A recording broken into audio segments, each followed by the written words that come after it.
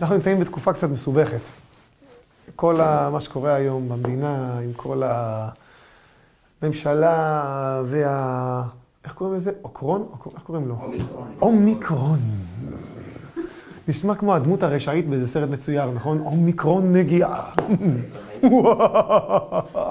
נכון? צריך לבוא איזה צחוק כזה אחר כך. אומיקרון, כל הבלאגן, והחיסונים, ועניינים, ולהתחסן, לא להתחסן, וזה. וואי, אני אגיד לכם את האמת, כואב לי הראש כבר מכל הסיפור הזה.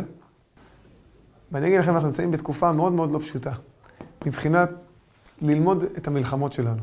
ואני אסביר למה אני מתכוון. שאלת מקודם לגבי גיור. אנחנו נמצאים היום שאחד מהחוקים שנכנסו עכשיו לחוקי המדינה זה עניין של הגיור על ידי רבני ערים.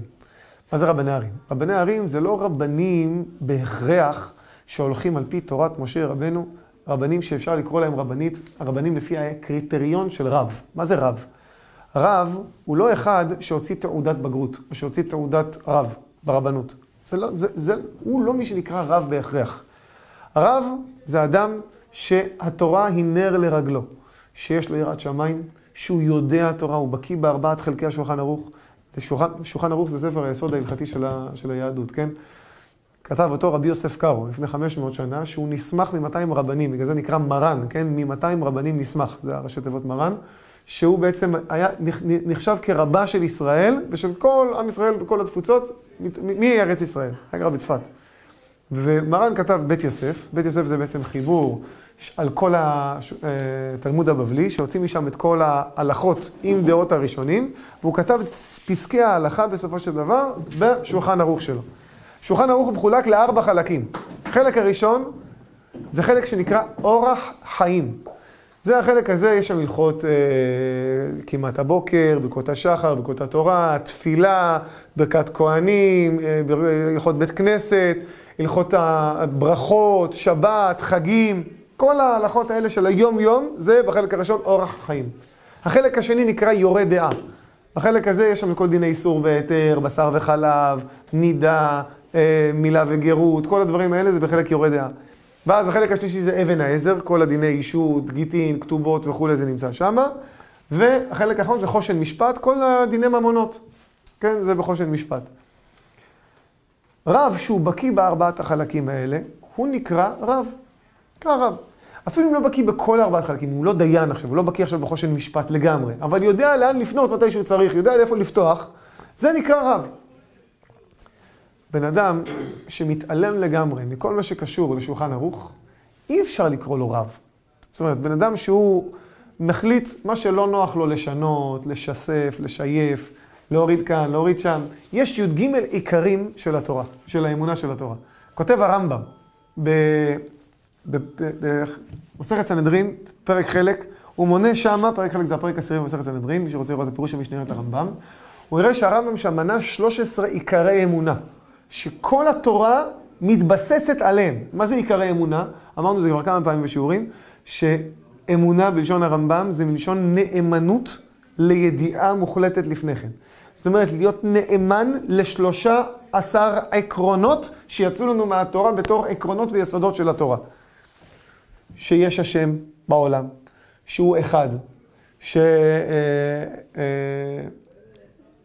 אה, כתוב שמה.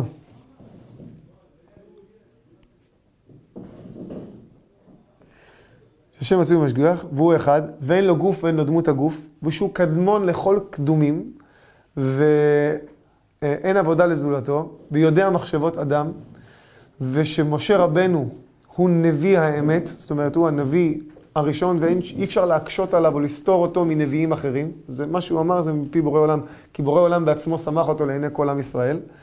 ושכל התורה שמשה רבנו אמר, זה הכל משמיים.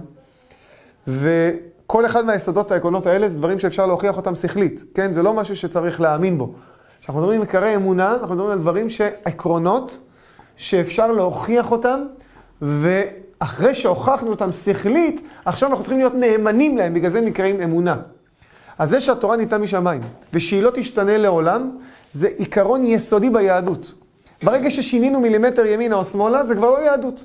אתה יכול לקרוא לזה נצרות, אתה יכול לקרוא לזה אסלאם. אתה לא יכול לקרוא לזה יהדות, וגם אם תוסיף לזה עוד מילה אחר כך, קונסרבטיבית או רפורמית, יהדות זה לא. אז תמחוק את המילה הראשונה, ותגיד, אנחנו בדת הרפורמד, או רפורמה, אבל לא בדת היהדות הרפורמית, כי אי אפשר לקרוא, זה, זה לא מתחבר ביחד, כי זה לא יהדות, זה ברור? לכן, אחד האתגרים הכי ממשיים שעומדים לנגדנו עכשיו, זה עניין הגיור הרפורמי. מה זה גיור רפורמי? בא בן אדם, נטול השכלה בכלל, אין לו מושג מימינו ומשמאלו בכל מה שקשור להלכה ולדת וליהדות ולחז"ל. בחיים לא פתח תלמוד בבלי. לא מאמין בכלל שיש אלוקים. רוב הרבים, זה, בכנסיות הרפורמים, בכלל לא מאמינים באלוקים. הם מדברים שם פוליטיקות, הם מדברים שם כל מיני דברים כאלה, לא... אין, אין להם בכלל שום קשר לאיזה אלוה מלמעלה. אה? תרבות, פלורליזם, חיי חברה, כל מיני המצאות. לא בגלל שהם משרתים לאל עליון. ודאי שלא. גם הזוהר הקדוש אומר בפרשת בראשית, דף כ"ה שם, הוא אומר חמישה מינים בערב רב. והוא מונה שם, אחד מהם זה הגיבורים, שהם בונים בתי כנסיות, ויש להם עטרה על ראשם, אבל לא לכבוד השם יתברך, אלא כדי לעשות להם שם. זאת אומרת, ממש כאילו מצביע שם על הרפורמים. עכשיו, בן אדם שרוצה להתגייר, הוא צריך להעביר, לעבור תהליך, שבתהליך הזה בעצם כל המבנה הרוחני שלו משתנה.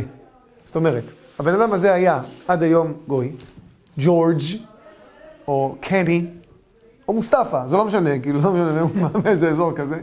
והוא עכשיו רוצה נדבך נוסף של הנשמה שלו להסתפח בנחלת השם. אני אסביר מה אני מתכוון, גם על פי הפשט וגם קצת על פי הפנימיות של הדברים. הכוזרי אומר שיש ארבעה סוגי נפשות. כן, זה כבר עוד לפניו, כן, זה כתוב בזוהר.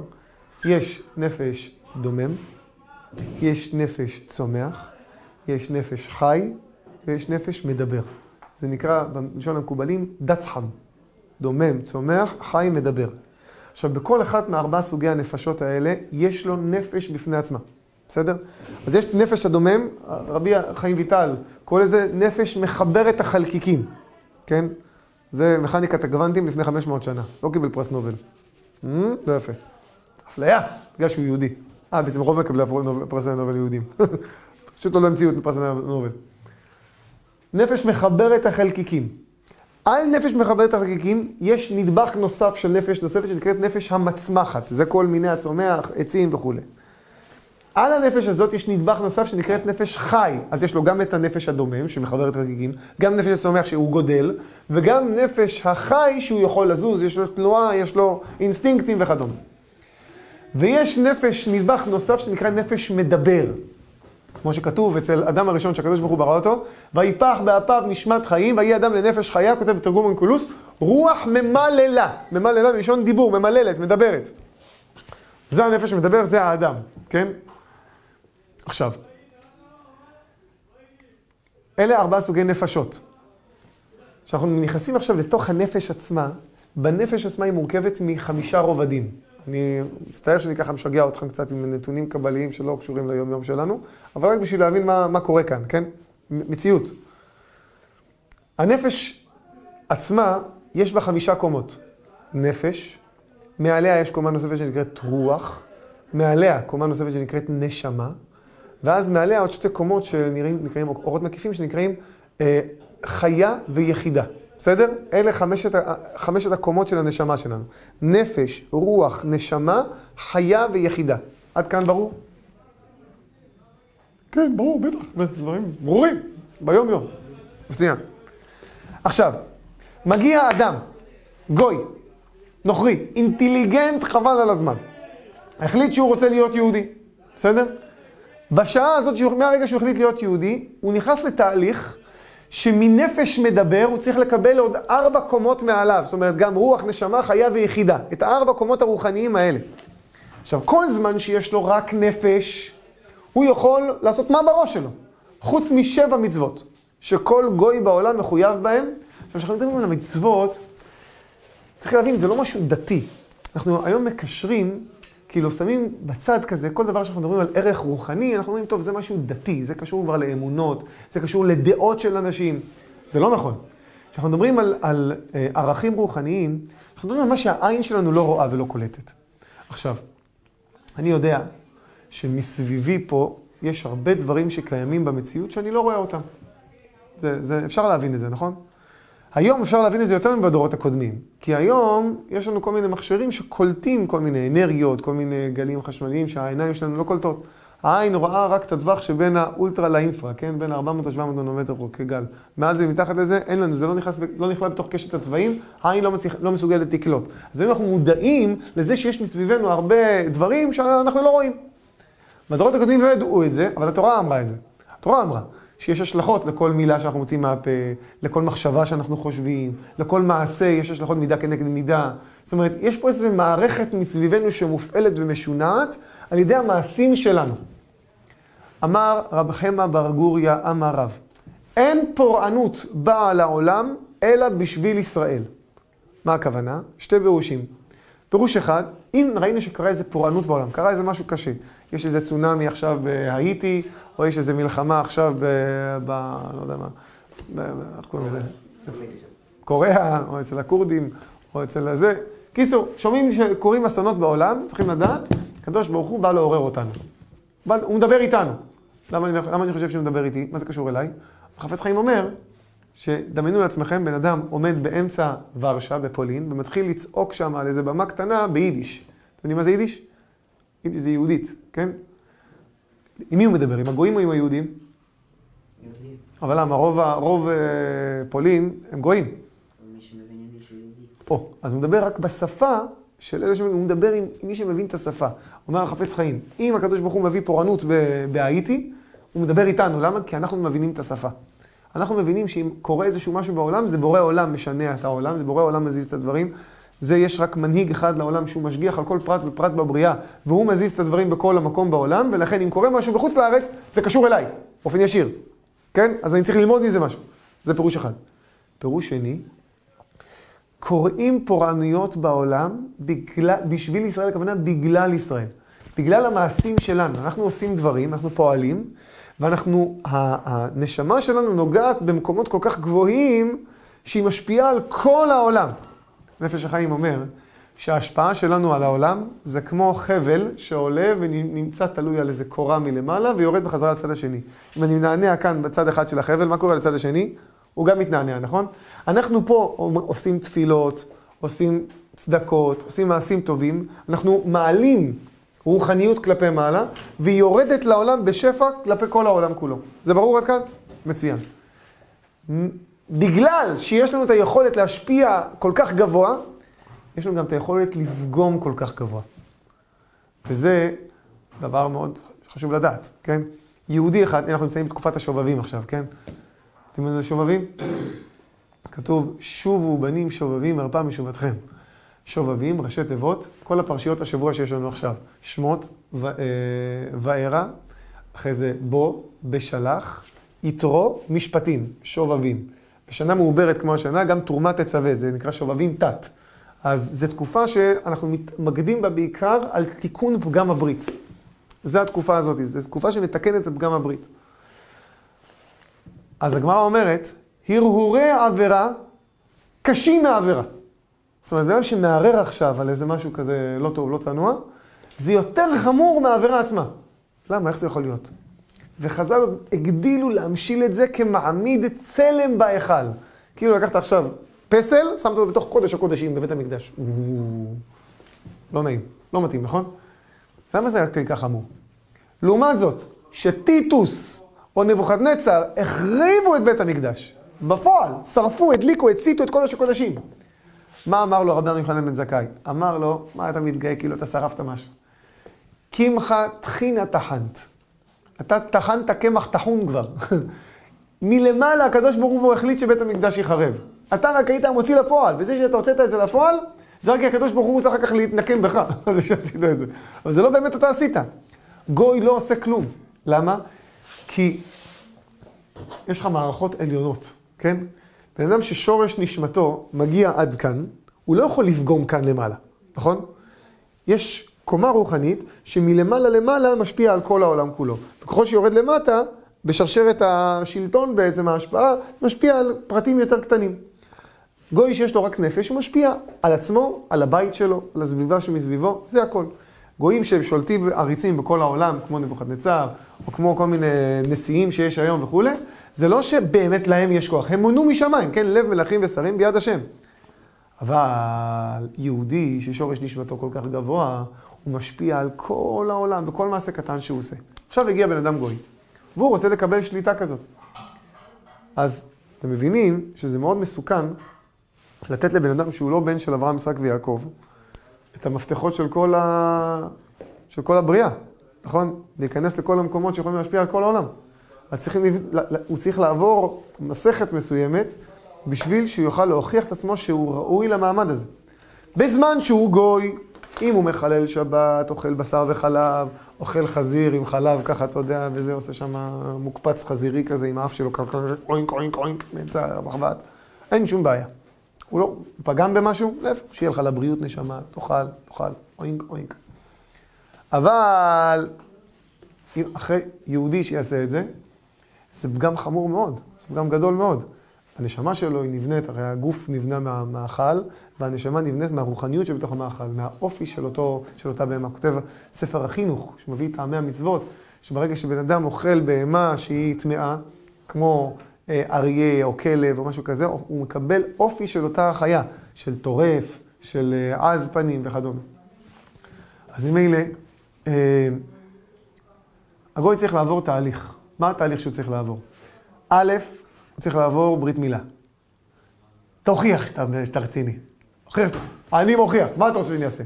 תחתוך את המקום הכי רגיש. לא. מה אתם אומרים? אם הוא לא רציני, הוא יחתוך? עזוב, תשאיר אותי עם זה, תשאר, אתה יהודי, אני, הכל בסדר. אני אחזיק לך את הציצית מקסימום בסוף. צריך להיות רציני. זה א', אישה לא צריכה, אין לה. היא לא צריכה לעשות ברית מילה. מבחינה רוחנית היא יותר מתוקנת, היא יותר קרובה לתיקון. ולכן היא צריכה לעשות שני הדברים האחרים. א', קבלת עול מלכות שמיים, וב', זה טבילה. כן? מל ולא טבל כאילו לא מל, הגמרא אומרת. אפילו עשה ברית מילה, אבל לא טבל בסופו של דבר במקווה טהרה, לשם גרות, לפני בית דין, של שלושה דיינים. לא, כאילו לא, לא עשה כלום. אבל האמצע, האמצע זה הבעיה. ברית מילה, אפשר לראות, אפשר לקבל טופס מהרופא, הנה עברתי ברית מילה. אה, טבילה, הוא עושה את זה לעיני הדיינים, רואים שהוא טבל. אבל קבלת עול מלכות שמיים, מאיפה יודעים? איך אנחנו יכולים לדעת שהבן אדם הזה אמיתי, והוא באמת קיבל לעצמו עול מלכות שמיים? מה זה קבלת עול מלכות שמיים? קבלת עול מלכות שמיים זה שהוא בא ואומר, כל מה שאלוקים אמר, אני הולך לעשות. כל מה שאלוקים אמר, אני הולך לקיים. אני מבחינתי הופך להיות חלק אחד עם בורא עולם. בשביל שהוא יגיד כזה דבר, איך אפשר להגיד, אני אחד עם בורא עולם, אם הוא לא יודע מה בורא עולם רוצה ממנו? אפשר? גוי יכול להגיד, היום, היום הוא הכיר את היהדות, היום הוא בא לאכול אצל רני, רני פתח לו שולחן, חבל על הזמן, כמו שיהודים יודעים לפתוח, הביא לו סטייקים, הביא לו עניינים, לאפות פה, בלאגנים. בקיצור, ההוא אמר, בואנה, איזה צדיק אתה, חבל על הזמן, תודה, תודה, כפר עליך, תודה, נשמה. ואז רני אומר לו, אה, אל תודה לי. תודה לבורא עולם. אה, אברהם אבינו של הדור. אני אומר, וואלה, יאללה, אני מודה לבורא עולם. מה צריך לעשות? ברכת המזון. יאללה, נותן לו ברכת המזון, לא מברך ברכת המזון. אומר, אבל אה, כתוב שמה, על תורתך שנת, שזה, שהנחלתנו וזה, ו... זה לא, לא נתן לי, לא נתן לי תורה. נו, טוב, תתגייר, מה הבעיה? פה שנייה אחת לעשות, לעשות וילה, תקבל עצמך במלכות שמיים. אומר, אני מקבל עצמי במלכות שמיים. מאיפה הוא יודע איך לקבל במלכות שמיים? אז הרמב"ם אומר ככה, קודם כל צריך להגיד לו עיקר שבת. מה זה שבת? מה זה איסור והיתר? מה זה בשר וחלב? דיני טהרת המשפחה. אומרים לו כמה דברים, ואומרים לו, תשמע, לא כדאי לך להיות יהודי. אומר לו, למה? א', תראה את היהודים מסכנים. בזמן שהם בגלות, מסכנים, חבל על הזמן, דורכים עליהם, רוצחים אותם, תופסים אותם, משמידים אותם. לא כדאי לך, לא כדאי לך, אתם למעלה. ועוד, שעכשיו, בזמן הזה, אתה יכול לאכול חזיר מטוגן עם תפוח בפה. אתה יכול ל- ל- ל- לעשות מה שאתה רוצה בשבת, בכיף. אתה יכול להתחתן עם מי שאתה רוצה ועם כמה שאתה רוצה ועם איך שאתה רוצה. אתה יכול לעשות מה בראש שלך. מה בראש שלך? ברגע שתהיה יהודי, אתה כבר צריך להתנהג בגינוני מלכות אחרים לגמרי, הכל יהיה אסור לך, ואם אתה חס ושלום תעבור, אז קבל עונש. לא כדאי לך. ואז הוא מתאמץ. אומר, אף על פי כן אני רוצה, אני מבין שזו האמת. לא רוצה לפספס את החיים שלי. בסדר. מי נהיה גדול? רק מי שמוכן להתחייב. רק אלה נהיים גדולים. מי הולך ללמוד רפואה? מי שמנקה, מוציא את הזבל? רק מי שמוכן עכשיו להקריב עשר שנים מהחיים שלו, ללכת ללמוד שבע שנים עכשיו רפואה, ללכת אחר כך לעבור סטאז', להיכנס לבתי חולים, לעבוד משמרות של 36 שעות ברצף. מטורפים בראש הרופאים האלה. אבל מה? הם אנשים רציניים.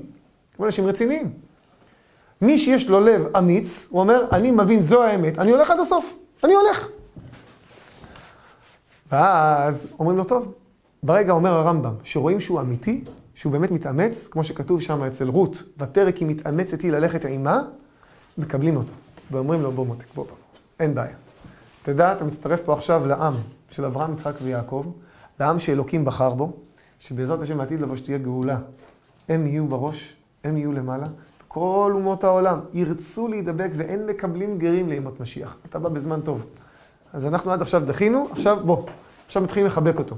אבל מתחילים ללמד אותו בראשי פרקים מה צריך לעשות. מלמדים אותו הלכות שבת, מלמדים אותו הלכות איסור והיתר, ואומרים לו, תתחיל לתרגל פרקטיקה. אז לוקח לו שנה, שנתיים, הוא מתארח אצל אנשים, אצל משפחות, עושה שבתות, עושה זה, מתחיל, מתחילים ככה לראות, לחקור אותו. אחרי שנתיים, שלוש, שהוא נכנס לתהליך, מאמינים אותו בפני בית דין. ובודקים במשפחות, מה זה, אם הוא היה רציני כל הזמן הזה, רואים את הבן אדם, אם הוא רציני. אין לדיין אלא מה שעיניו רואות. אז צריך כל כך הרבה להתאמץ, לראות שמה שהוא מקבל על עצמו זה בלב שלם. עכשיו, תבינו טוב. אם הבן אדם הזה אמר, אני מקבל עצמי עול מלכות שמיים, והוא עשה עבודה בעיניים, הוא התארח אצל משפחות, שהם חברים שלו. הוא אומר, כן, כן, כן, הוא היה אצלנו, אנחנו שומרים שבת, הוא היה אצלנו. והוא עושה את זה באוונטה. הוא עבר את כל התהליך, הוא מגיע לפני בית דין. שואלים אותו השאלות, בהלכות שבת, בהלכות ברכות, בהלכות זה, והוא עונה. הוא יודע, הוא למד את החומר. הוא רוצה תעודת זהות כחולה. הוא רוצה חוק השבות, הוא רוצה לקבל פה עכשיו את החבילה של חוק השבות. הוא רוצה להיות יהודי. והוא הצליח לענות על כל השאלות. ובלב שלו, הוא רק מחכה לסיים עם זה וללכת לאלנבי. הוא יהודי? אה? לא. בעיקרון, דבר שתלוי בלב הוא לא יהודי. אבל מה, הדיינים ראו שהוא כן, והדיינים קבעו שהוא כן יהודי, אז הוא כן יהודי. כי אין לדיין אלא מה שעיניו רואות. אבל אנחנו עכשיו בבעיה. למה? כתוב... עכשיו יהודי? אה? כן. כי הדיינים קבעו שהוא יהודי. בית דין קבעו שהוא יהודי. צריך להיות כן עם עצמו. אבל הבעיה היא כזאת, הבעיה היא כזאת. הוא נקרא גר לא, לא כל כך אמיתי. כאילו, הוא גר לכל דבר, הוא מצטרף למניין, הוא עולה לתורה, אבל הוא לא כזה אמיתי. למה? א', לעתיד לבוא, שיבוא אליהו הנביא ויגיד כל אחד ואחד מי מישראל ומי לא מישראל, יעשה סדר בבלאגן, הוא כמובן ייזרק החוצה. ב', כתוב, וכל העם אשר נסתבכו עם ישראל. מכאן אמר רבי נונה בגמרא מסכת עבודה זרה, קשים גרים לישראל כספחת. ספחת זה סוג של נגע בעור. קשים גרים לישראל כספחת. למה קשים גרים לישראל כספחת? תשובה. או שהם הופכים להיות יותר צדיקים מעם ישראל, ואז זה מעורר קדרוג על עם ישראל, כמו רבי עקיבא, שהיה בן גרים. הוא היה קודש קודשים, חבל על הזמן. ובדרך כלל, הגרים, הם נהיים יותר חזקים מהיהודים עצמם ברגע שהם אמיתיים. למה? כי הם באים עד הסוף, בדיוק, רותם אברהם ממנה יצאה המלכות. או שהם עושים את זה למראית העין, ואז חוזרים לסורם וחוזרים להרגלים הראשונים שהיו להם, ואז הם הרסו לנו. למה? כי אם הוא עכשיו נכ- נכלל בכלל ישראל, ועכשיו הוא הולך לים, הוא מוסיף למכסת העוונות של כל עם ישראל, אנחנו נהיינו, נהיה לנו דין ערבות איתו עכשיו. אכלנו אותה, אתה מבין? אז זה, זה לא טוב לנו. בגלל זה הדיינים מנסים לחקור כמה שיותר. בא איזה, סליחה שאני אומר, כן, איזה אחד דבע, מודרוב, שם בניו יורק, או במיאמי, או בקוסטה ריקה, עם איזה, הוא, הוא, הוא שם כיפה כזאת, צהוב ירוק כזה, משהו כזה מודרני, רק בשביל מעמד ההכתרה והגיור. והוא בעצמו בכלל, יש, אשתו גויה, אשתו נוצרייה, איזה קריסטין יש לו בבית, או איזה אה, מדונה. והוא עכשיו בא לגייר את הבן אדם הזה, הטביל אותו.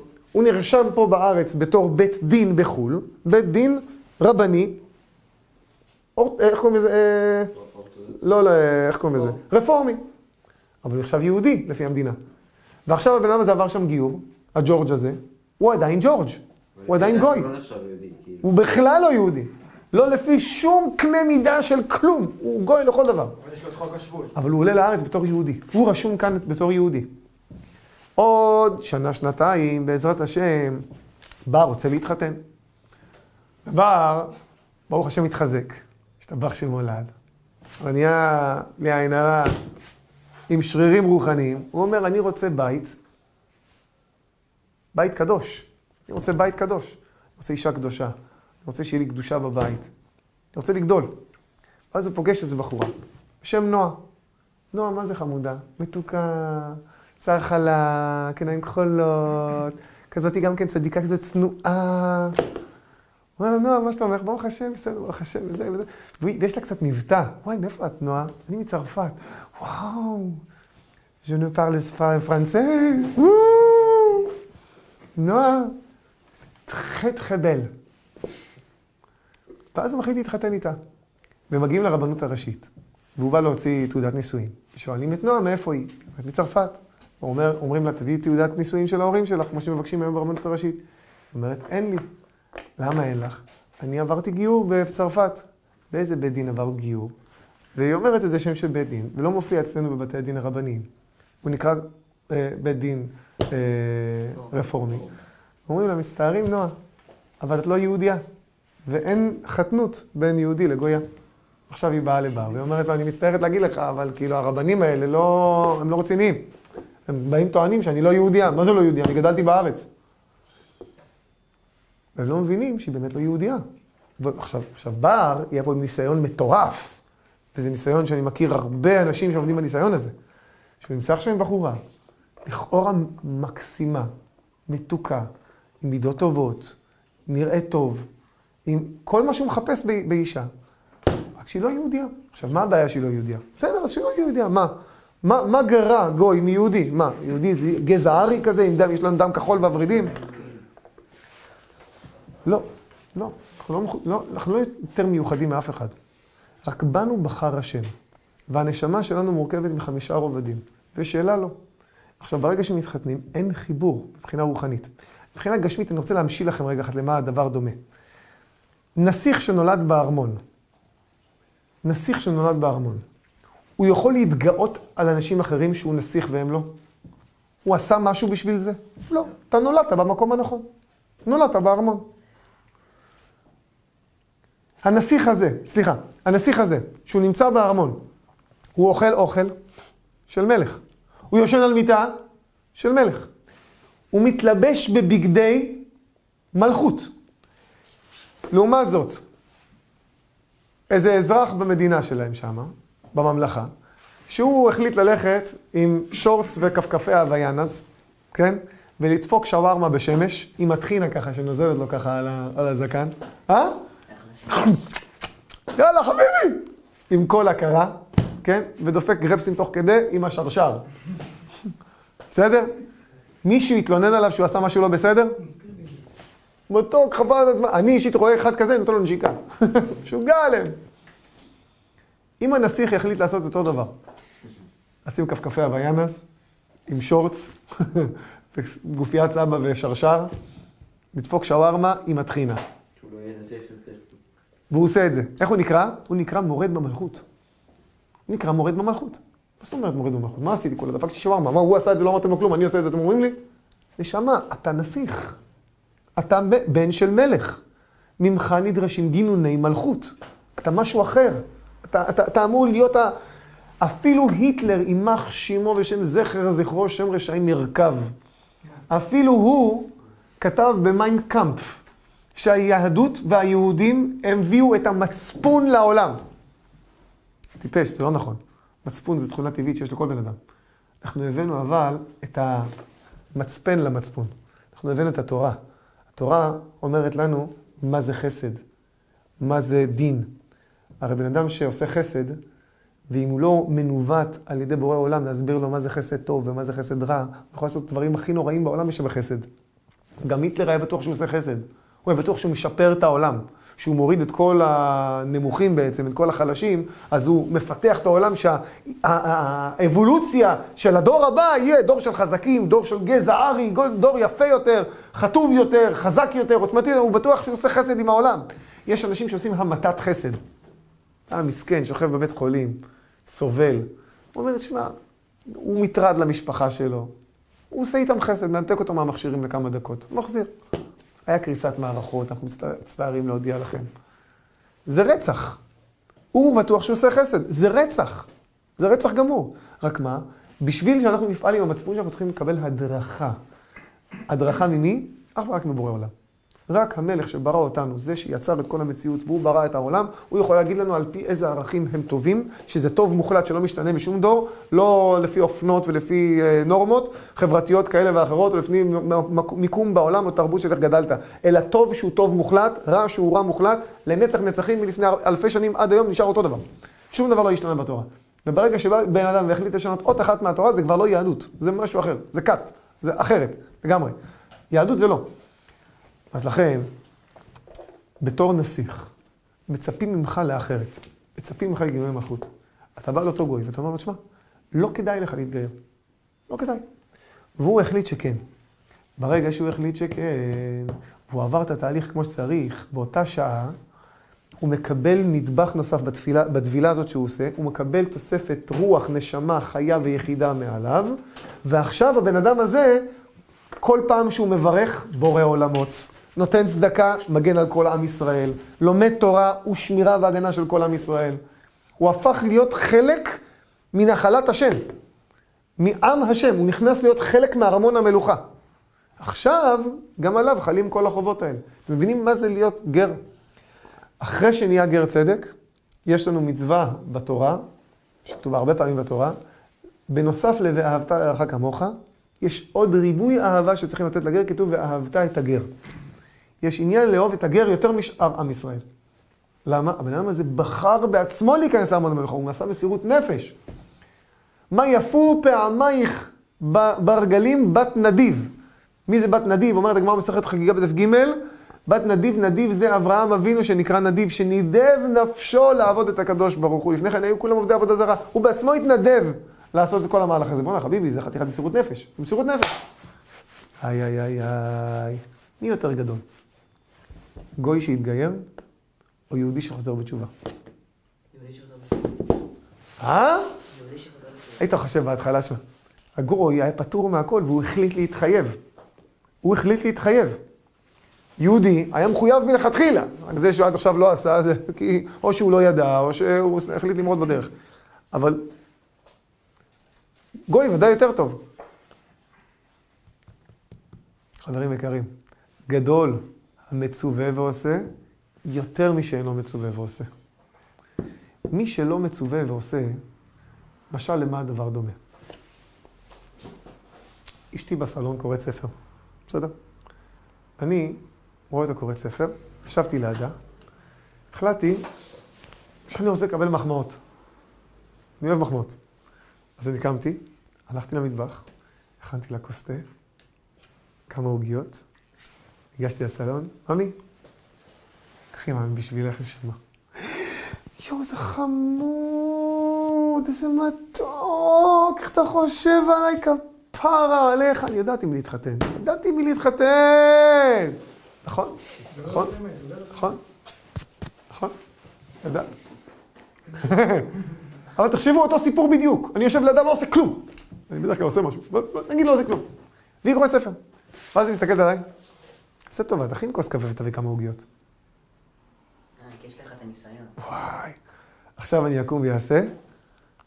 זה לי יותר קל או יותר קשה? פי מיליון יותר קשה. יש, בגלל שאנחנו נגזרנו מאלוקים. אנחנו נקראים חלק אלוה ממעל ממש. אנחנו לא יכולים שיש משהו מעלינו שכופה אותנו. זה עבודת חיינו. העבודת חיים שלנו, להצליח להתבטל לדבר שהוא גבוה מעלינו. וואי. אה, זה ניסיון של הדור, זה ניסיון של כל, כל, כל הדורות כולם. זה היה ניסיון של ההתבטאות של אדם, מהאדם הראשון זה התחיל. להתבטל, האדם הראשון, המלאכים רצו לומר לפניו שירה. היה, היו בטוחים שהוא אלוקים, שהוא ברא את העולם. והוא היה צריך להתבטל לא לאכול מעץ הדעת. יואו, זה קשה. שהיא באה ואומרת לך עכשיו, תכין לי. יש לך עכשיו צי של הג'יהאד האיסלאמי בתור יצר הרע בתוך הלב שלך, אומר לך, אל תלך, אל תלך, עזוב אותך, מי שתגיד לך דברים? לא, שהיא תעשה, שם. ואתה כופה את עצמך, אתה קם, לא, אני עולה.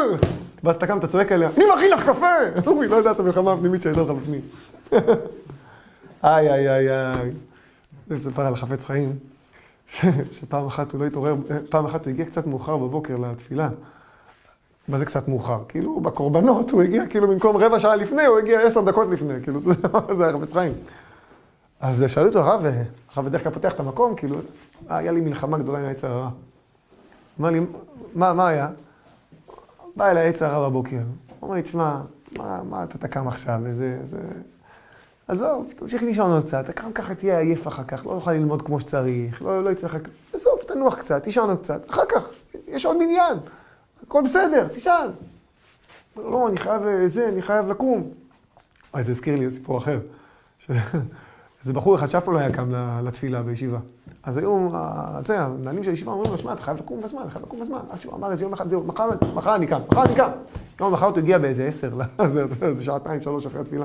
אומרים לו, מה קרה? הוא אומר, אל תשאלו, אני קמתי. נו, אז מה קרה אחר כך? למה לא באת? אמר, תשמע, נלחמתי עם העץ הרע, כל כך מלחמה כזאת קשה, שעד שהצלחתי לקום, כבר התעייפתי במלחמה, חזרתי לישון. חפץ חיים, אתם יודעים מה חפץ חיים אמר? חיים אמר, תראה, אתה יודע מה גרם לי לקום ולא ליפול אצלו ברשת? אמרתי, אם הוא משכנע אותי עכשיו להמשיך לישון, זאת אומרת שהוא התעורר לפניי. אתה התעוררת לפניי ואתה אומר, להמשיך לישון, אתה לא מתבייש? ישר קמתי. היה לי חבר, יודע מה גרם לו לקום לתפילה בבוקר מוקדם? הוא שמע את המשאית זבל בבוקר. הוא אומר, הם לעבודה הזאת קמים כל כך מוקדם, ואני לעבודת השם לא קם כל כך מוקדם. כל עבודה מכבדת את בעליה, כן? זו עבודה מכובדת וכל דבר. אבל הוא קם לעבודה כזאת שכזה, שזה קשה מאוד, כן? אני, לי קשה מאוד, זה אשריהם, ממש גדלות להצליח לעבוד בעבודה כזאת. אני לא הייתי מצליח, זה היה ריח.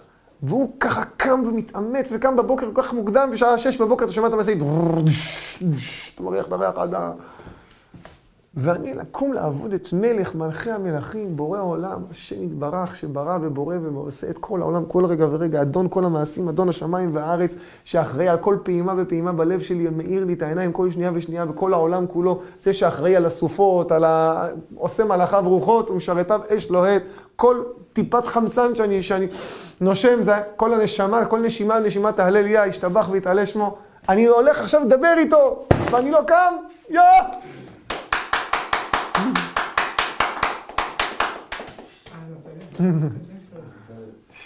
אתה מבין מה זה? אה, אביעד. אה, אחי, אתה יודע עם מי אנחנו עובדים? אתה יודע את מי אנחנו עובדים? אתה יודע את מי אנחנו משרתים? משרתים את מלך מלכי המלכים. צריך להבין מה זה להיות יהודי. זה לא פשוט להיות יהודי. לא פשוט. הוא נתן לנו מתנות. המתנות שהקדוש ברוך הוא נתן לנו, אנחנו צריכים להבין איזה מתנות מדובר כאן. תראו, הרבה אנשים רואים את המצוות בתור עבודה, כן? עבודה. יש פה עבודה, עבודה שצריך לעשות.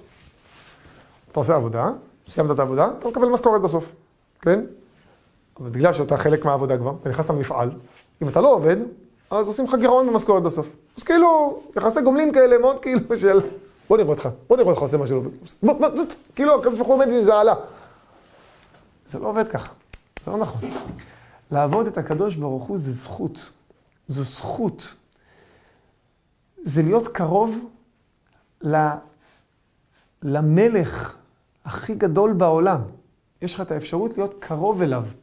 רצה הקדוש ברוך הוא לזכות את ישראל, לפיכך הרבה להם תורה ומצוות. למה?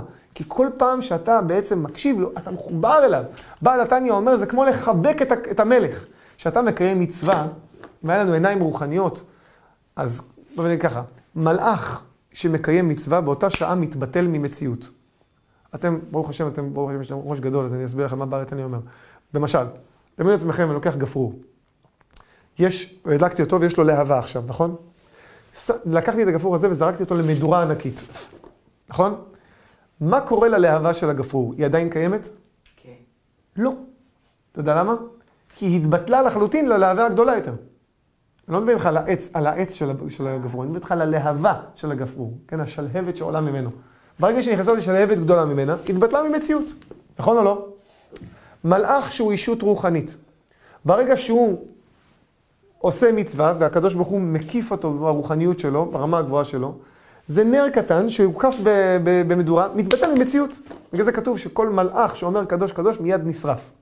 מה זה נשרף הופך להיות שרף, עולה מדרגה, כיוון שהוא אה, מתבטל מהאור הגדול שהגיע. ברגע שאדם נפטר מן העולם, הוא לא יכול לקיים יותר מצוות. למה? כי אם הוא יקיים מצווה, הוא יתבטל ממציאות. הוא לא יכול. איך אנחנו עכשיו מקיימים מצוות ואנחנו לא מתבטלים ממציאות? כי יש לנו גוף עכור, שהוא בעצם כמו מכסה מגן. אם אני אקח עכשיו כמו גפרור עם להבה, ואני אשים אותו במין בועה קסומה כזאת, שמגנה על כל דבר מלהיכנס פנימה, ואני אשים אותו בתוך מדורה גדולה, הוא יתבטל ממציאות? לא. למה? כי יש עליו את השומר הזה, הוא נמצא בתוך המדורה, ויש עליו את השומר הזה מסביבו, נכון? זה הגוף שלנו.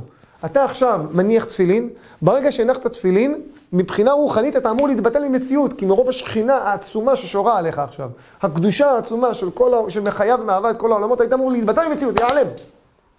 רק מה, בגלל שיש את הגוף, אז אתה יכול להישאר עדיין קיים, כן? אז הוא אומר, זה משל, ברגע שאתה מקיף אותו, שהוא, שהוא מקיף אותך, ככה זה כאילו המלך מחבק אותך. ברגע שאתה חושב על מה שאתה עושה, חושב על המצווה בראש, אני עכשיו מקיים מצווה, הכוונה בעצם זה כאילו אתה מחבק אותו. אני עושה פה חיבוק למלך, כך אומר בעל התניא. רצה הקדוש ברוך הוא לזכות את ישראל. שכר מצווה, מצווה. מה זה שכר מצווה, מצווה? זה נשמע לא הגיוני. דניאל, אני אומר לך, תשמע, שטוף לי את האוטו, ראיתי? שטוף לי את האוטו, אני אתן לך כשכר, אז יש לשטוף לי את האוטו, לשטוף גם את האוטו השני. לקחתי. שווה, אה, שאתה אוהב אותי, כן, כל שנים תחזה אהבה. אבל נשמה תורה, טובה. איזה מין שכר זה? שכר מצווה, שאני אתן לך עוד מצווה. מה, אתה רציני? ברגע שאתה מבין את הערך, אז המשנה, אז הגמרא במסכת ביצה אומרת, שאמר הקדוש ברוך הוא, מתנה טובה יש לי בבית גנזי, וברצוני ליתנה לישראל. לך והודיעם, ככה אמר הקדוש ברוך הוא למשה רבנו. יש לי מתנה טובה לישראל. איזה מתנה? שבת שמה. שנמצאת איפה? בבית גנזיו של הקדוש ברוך הוא. איפה אתה שומר את הארנק שלך? טוב, תלוי כמה כסף יש לך. אם יש לך עכשיו איזה 50 אלף שקל בארנק, אתה לא זורק אותו באמצע הסלון, נכון? אתה שם אותו בכספת. שבתוך כספת, שבתוך... אתה אומר 50 אלף זה מספיק אה, טוב בשביל כמה כספות. אתה שם אותו בבית הגנזים שלך. אז הקדוש ברוך הוא, לי הכסף ולי עזבנו השם, הוא לא צריך כסף, יש לו הכל, הכל שלו, כל העולם שלו, כל הבריאה שלו, כל הכל. מה נמצא בבית הגנזים שלו? אומר לנו הקדוש ברוך הוא, מה שנמצא בבית גנזי, הדבר הכי יקר בעולם זה שבת. שבת. ברצוני ליתנה לישראל, לך והודיעם. גוי ששומר שבת חייב מיתה. אסור לו לשמור שבת. אתם קולטים כאילו מה זה? כאילו קיבלנו פה מתנה שלאף גוי לא, אסור לו לקיים אותה, ואם מקיים אותה, את המצווה הזאת שאנחנו כאילו אומרים, שמע, כבד עליי, שמע, זה גדול, זה. אם גוי מקיים את זה, הוא חייב מיתה. עד כדי כך, שהקדוש ברוך הוא זה אך ורק לנו. למה? בואו שימו לב טוב. וואי, וואי, וואי. אומר החפץ חיים, שפעם אחת איזה מישהו בא לבקש ממנו, דפק בדלת, לבקש צדקה. סנורקה, שנורר כזה. בקיצור, הוא פותח את הדלת, הוא רואה אותו, וזה עכשיו, הוא, הוא רצה לתת לו איזה משהו, אבל לא היה עליו כלום. אתה יודע, אתה, תמיד יש לי מרשרשים ככה בכיס, אם מישהו בא וזה, שאי אפשר לשלוף עליו. לא היה לו מה זה. אז הוא הלך לחפש בבית, מה לתת לו? אתה מכיר את זה שאתה מחפש בבית שקלים? מי שמעשן מכיר את זה. שמעשן, אתה יודע, פתאום נתקע בלי סיגריות, וואי, הוא מתחיל לגרד שקלים מהקירות, כזה, זה לעצב שקלים, הוא מתחיל לעשות כזה ניפוח. בקיצור, הוא מחפש בבית עד שהוא מצא איזה טבעת של אשתו. אשתי תוותר, מה? בשביל לתת לעני, אשתי צדיקה. לקח את הטבעת, נותן את זה לעני. אני מסתכל על הטבעת, יואו, תודה. בבקשה, שיהיה לך שבת שלום. סוגר את הדלת. ככה לכבוד שבת קודש הוא מבקש. סוגר את הדלת. ואז אשתו של חיים שואלת אותו, מי זה היה? איזה מישהו בא לבקש. נתת לו משהו? כן, נתתי לו. מה נתת לו? נתתי לו פה איזה טבעת שמצאתי. איזה טבעת מצאת? טבעת שהייתה פה בקופסה. איזה קופסה? בקופסה החומה. בקופסה החומה? היא רצה ישר מחפשת, זה הטבעת מאירוסין, איזה יהלום. מה? זה יהלום? אוי ואבוי! הוא רץ מהר החוצה והתחיל לרדוף אחרי זה. העני הזה קלט שהוא רודף אחריו, אומר, בלי חרטות, התחיל לרוץ. הוא אומר לו, עצור רגע, תעצור, הוא אומר, אתה לא עזוב, אתה כבר נתת, כבר אתה לא יכול לחזור בך, הוא אומר, תעצור, לא לוקח, לא לוקח. הוא עוצר. אז חפץ חיים מגיע אליו. הוא אומר לו, אני לא לוקח ממך את זה, זה נשאר אצלך. רק רציתי להגיד לך, שלא תתבלבל. מה שיש לך שם ביד, זה יהלום. אל תמכור אותו בזול. רק שתדע שמה שיש לך ביד, זה, יש לו ערך גדול מאוד. אל תמכור אותו בזול. אומר החפץ חיים זה השבת. הקדוש ברוך הוא נתן לנו מתנה טובה. והקדוש ברוך הוא רצה להודיע לעם ישראל שזו מתנה טובה שנמצאת בבית גנזיו. למה? שלא נמכור אותה בזול. במה מוכרים את השבת הרבה אנשים? באיזה סדרת טלוויזיה? סתם מוכרים אותה בזול. באיזה טיול ברכב, בסיגריה. זה נמכור בזול. אתם יודעים איך נראה שולחן שבת בבית יהודי? של תורה, בית של תורה. שולחן ערוך, נרות דולקים כמניין בני הבית. כולם לבושים בבגדי נשף. בגדי נשף. אתם הולכים בערים החרדיות בליל שבת, ברחוב, אתם רואים את כל הרחובות מלאים בשמלות נשף ובטוקסידואים. חביבי, אתה בנשף. מגיעים לשולחן שבת, כל, המשפחה עומדים מסביב לשולחן. שלום עליכם, מלאכי השרת. בהבנה שעכשיו הם הגיעו מבית הכנסת, מלווים לו לאדם שני מלאכים מבית הכנסת שהוא מגיע, מלאכי השרת. והוא מתפ... מברך את אשתו, אשת חיל מי ימצא ורחוק מפנינים מכרע. אפשר לשיר סרנדה, נשמה, סרנדה על השולחן, כל בני המשפחה יושבים, שומעים, רואים את האבא משבח את האימא. איזה, איזה, איזה תמונה זאת, לראות את אבא עומד ושר שיר לאימא פעם בשבוע. בטח בלב בעלה ושלל לא יחסר. שקר החן והבל היופי, אישה יראת השם היא תתהלל. משבח את אשתו, ואת עלית על כולנה. אחרי זה, מברך את הילדים. כל אחד נותן לו את הברכה שלו. ישמחה אלוקים כאפיים וכמנשה, ישימך אלוהים כשרה יפקר רחל ולאה. מברך אותו ברכה אישית, שתזכה לגדול בתורה, שתזכה לכל הישועות, לכל הברכות. אבא מברך את הבן שלו כל ערב, והבן מנשק את הידיים של אבא, מנשק את הידיים של אמא, בעיקר לנשק את הידיים של אמא, זה העיקר. שזה, על פי הקבלה יש בזה סודות גדולים מאוד, הרבה הערות, הרבה שפע שהוא מוריד מהנשיקה ביד, ליד של אמא, ב- בליל שבת. דבר גדול וקדוש וחשוב מאוד, אחרי קידוש, לקום לנשק את היד של האמא ביד.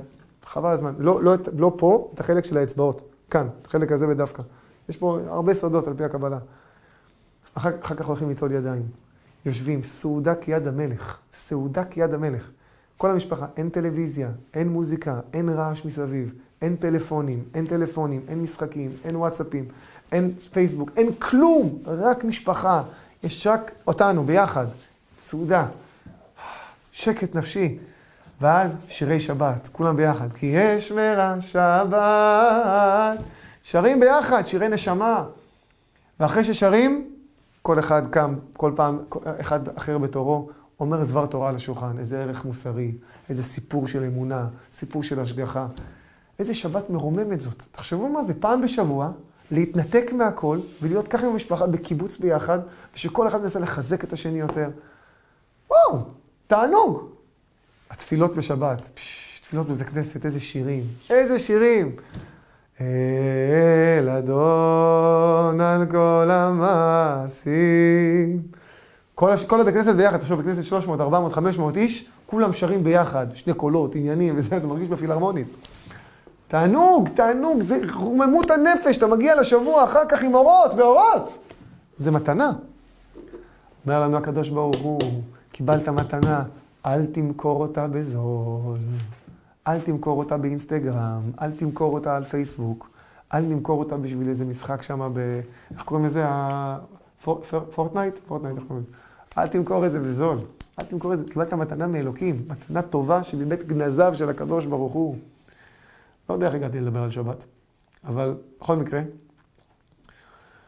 לענייננו. אה, כן, הזכרתי למה אני לדבר על שבת. בגלל גוי. כי השבת ניתנה אך ורק לעם ישראל. אך ורק לעם ישראל. אני, כשהייתי גר בארצות הברית, היה לי שיעור לגויים. היה לי שיעור פעם בשבוע לגויים, ביומי שני. וחלק מהשיעור הייתי מדבר על שבע מצוות בני נוח, וחלק מהשיעור הייתי מדבר על 13 עיקרי האמונה של היהדות. כי היה שם חלק שרצו להתגר וחלק לא. יש שם, היה ביניהם איזה רופא אחד. הוא גוי טוב, באמת, אדם טוב, אדם באמת טוב.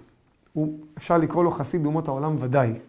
הוא ודאי יש לו חלק גם לעולם הבא, כן? יש לו, יש לו גן עדן, ודאי, לא סדר גודל של בן אדם שמחויב בשבע מצוות, ובן אדם חייב 613 מצוות, זה כמובן זה פער גדול, אבל בכל מקרה, עדיין, שכר יש לו, שכר רוחני, אינסופי. הבן אדם 13 שנה מנסה לעבור תהליך גיור. 13 שנה. יש לו רק בעיה אחת, רק בעיה אחת. אתה מבין, מגיע אליו לקליניקה, יש לו מזוזה שם. יש לו מזוזה בקליניקה. לא יודע, אמרתי לו, למה? זה כאילו, אתה לא צריך. הוא אומר, לא, אני יודע שזה שומר לי על המקום. 13 שנה הוא מנסה להתגייר והוא לא מצליח. אתם יודעים למה? כי אשתו לא מוכנה להתגייר. אשתו לא מוכנה להתגייר. הוא מוכן ללכת עד הסוף, אבל הוא אוהב את אשתו. עכשיו אם היא לא מתגיירת, אסור לו, כי בסוף הוא מתגייר והוא נשוי לגויה, כאילו זה לא, לא שייך. אני, אומר לכם את האמת, אני בכיתי איתו כמה פעמים. אמרתי לו, תשמע, אני, אני לא יודע מה להגיד לך, אני לא יודע מה להגיד לך. אני ממש הייתי רוצה שאתה תהיה חלק מהעם שלנו, ממש ראוי, ממש מגיע לך. משמיים מונים אותו. טוב, העיניים, האדם רואה לעיניים והשם רואה ללבב. אבל רק שנבין מה הזכות הגדולה שניתנה לנו. בתור, להיות, להיות חלק מהעם השם יתברך. שנזכה שהקדוש ברוך הוא יברך אותנו בכל הברכות העמוד בתורה. נזכה בעזרת השם לעלות מעלה-מעלה, וניגאל בעזרת השם במהרה בימינו, ונראה את גדולתם של ישראל באמת. אמן כן יהי רצון.